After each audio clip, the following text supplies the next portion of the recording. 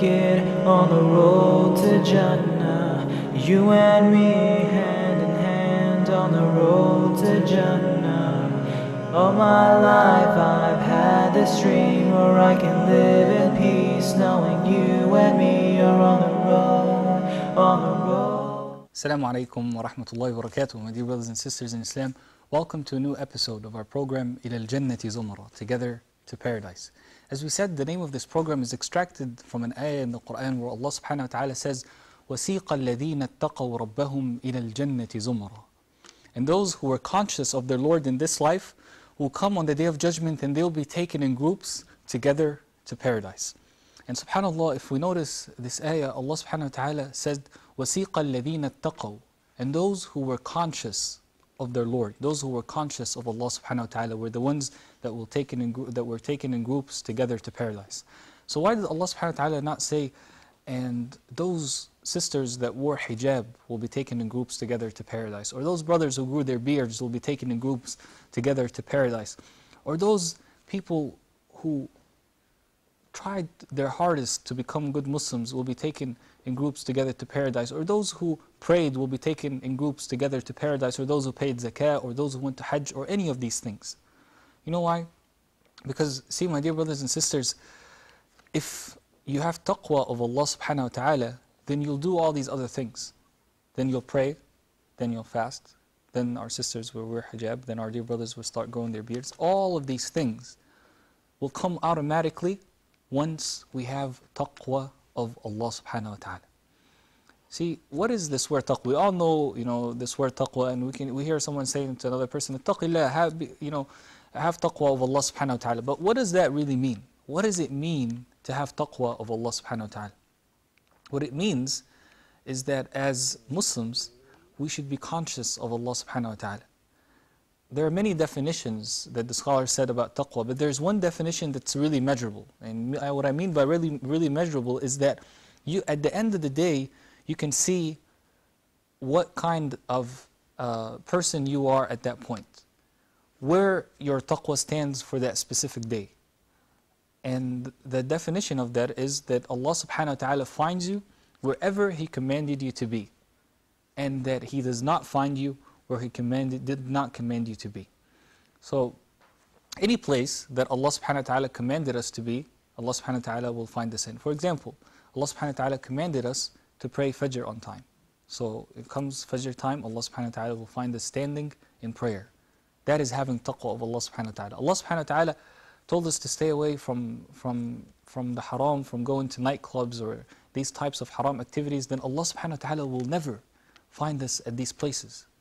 We have taqwa of Allah subhanahu wa ta'ala by being where Allah subhanahu wa ta'ala commanded us to be and to stay away from the places that Allah subhanahu wa ta'ala commanded us not to be. At the same time, uh, Prophet Muhammad sallallahu alayhi wasallam says, اتق الله حيثما كنت. be conscious of Allah wherever you are. Wherever is at whatever time and whatever place. Every single place that we're in, we should have taqwa of Allah subhanahu wa ta'ala. The people of taqwa have a great reward from Allah subhanahu wa ta'ala. Um, they are the people who Allah subhanahu wa ta'ala loves the most. No one is more loved by Allah subhanahu wa ta'ala than the muttaqeen.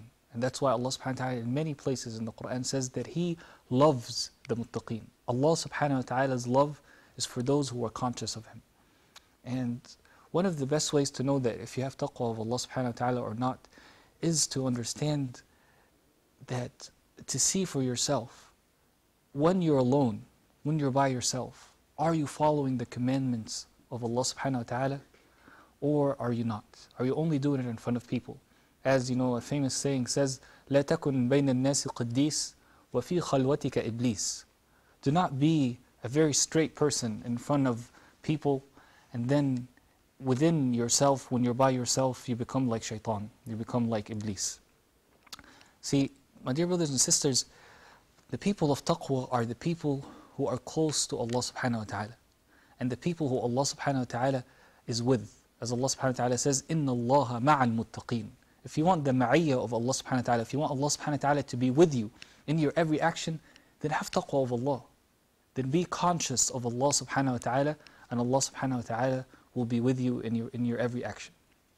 And one of the best things about taqwa is a great ayah where Allah subhanahu wa ta'ala says, وَمَن يَتَّقِ اللَّهَ يَجْعَل لَهُ مَخْرَجًا وَيَرْزُقْهُ مِنْ حَيْثُ لَا يَحْتَسِبُ And whoever is conscious of Allah subhanahu wa ta'ala, Allah will make a way out for him and will grant him sustenance from places that he did never, never expected.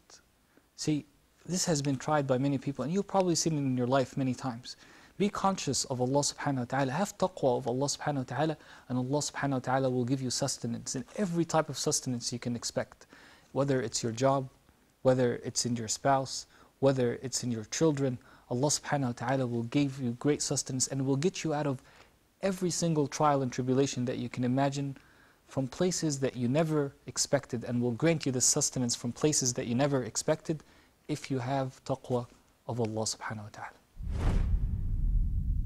My dear brothers and sisters, Allah subhanahu wa ta'ala says in the Quran, وَاتَّقُوا اللَّهِ وَيُعَلِّمُكُمُ اللَّهِ And be conscious of Allah subhanahu wa ta'ala and Allah subhanahu wa ta'ala will teach you. Be conscious of Allah subhanahu wa ta'ala in your every action and Allah subhanahu wa ta'ala will teach you. If you are trying to learn the Quran, my dear sister, be conscious of Allah and Allah will help you learn it.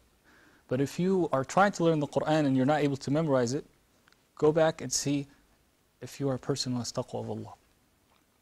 If you are having taqwa of Allah subhanahu wa ta'ala, there's much, much more, you're much, much more likely to be a person who is having taqwa of Allah subhanahu wa ta'ala and who will be able to learn the deen.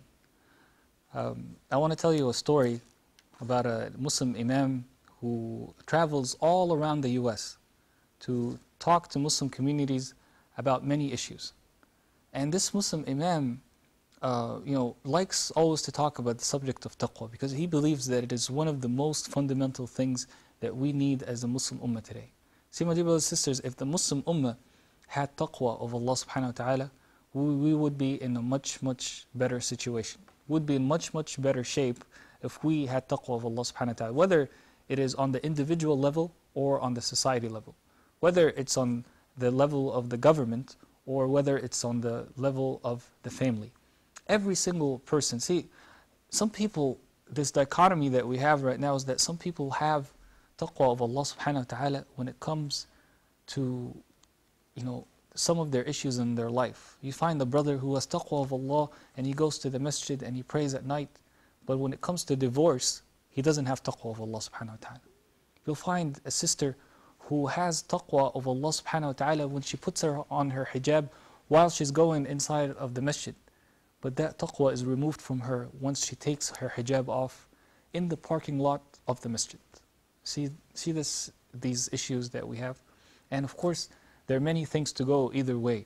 There are issues where we as Muslims are having taqwa sometimes, but we're not having taqwa at other times. And the main problem is that most likely we're having taqwa in public, but we're not having taqwa in private. That is a big, big issue. If we have taqwa of Allah subhanahu wa ta'ala in public, alhamdulillah, it's a good thing. But if you're finding yourself that you're not having taqwa of Allah in private, then know that you're in great danger. You're in great danger of being simply a person who's showing off, who's not really having taqwa because you want to be a person who's conscious of Allah subhanahu wa ta'ala. Rather, you're doing it because people see you. And the test that you can test yourself with during that um, specific time is to understand that Allah subhanahu wa ta'ala should be feared and should, you should fear him at all times. All times, whether it's in front of people or not in front of people. Should fear Allah subhanahu wa ta'ala at all times. So this Imam, uh, going back to the story, this Imam came and he was given a talk once in the state of Kentucky. In the state of Kentucky, he was talking to the Muslim sisters and brothers there, and he told them, you as Muslims, Muslim sisters and brothers in the state of Kentucky should be more conscious of Allah subhanahu wa ta'ala than any other brothers and sisters in the US. And they told him why. You know, they thought this was something that he just, you know, as a way of getting them to love the concept of taqwa, that he would just sell this to any Muslim community that he goes to. But in reality, he was only saying it to them. So they asked him why. And he told them, because you live in a state that's called kun taqi. You live in a state of Kentucky, kun taqi, be taqi of Allah subhanahu wa ta'ala. And of course, they took it as a joke and they lightened the mood up uh, a little bit. But uh, in reality, we as Muslims should be people who are conscious of Allah subhanahu wa ta'ala at all times. If we do that, then we will receive the love of Allah subhanahu wa ta'ala. We'll receive the ma'iyah of Allah subhanahu wa ta'ala. Allah subhanahu wa ta'ala be- will be with us. And most importantly, وَمَن يَتَّقِ اللَّهَ يَجْعَلْ لَهُ مَخْرَجًا وَيَرْزُقْهُ مِنْ حَيْثُ لَا يَحْتَسِبُ And whoever is conscious of Allah subhanahu wa ta'ala, Allah will make a way out for him and will grant him sustenance from places that he never expected. جزاكم الله خيرا. I'll see you next time inshallah. Alaikum wa rahmatullahi wa barakatuh. Together we can make it on the road to Jannah. You and me, hand in hand on the road to Jannah. Together we can make it on the road to Jannah. You and me, hand in hand on the road to Jannah. All my life I've had this dream where I can live in peace, knowing you and me are on the road, on the road, on the road.